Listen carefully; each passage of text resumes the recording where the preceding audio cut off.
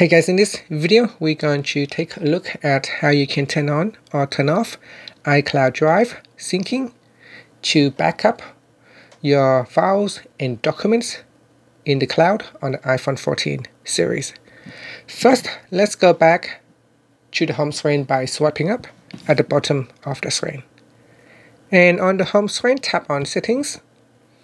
Next in settings, you want to go down and tap on your Apple account profile at the top here.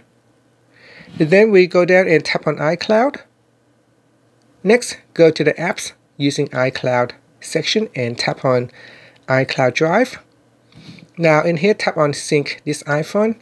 So tap on the toggle button to turn off syncing iCloud Drive or you can tap on the toggle button to turn it on. Once you turn it on, any files that you download or create in the files manager in here it will be uh, sync to iCloud Drive. So you can see here I've got uh, iCloud Drive turn on so it is here. I can create documents or I can uh, when my downloads save on the device I can move them to iCloud Drive so that it can be backup and stored on the cloud. And that's it Thank you for watching this video. Please subscribe to my channel for more videos.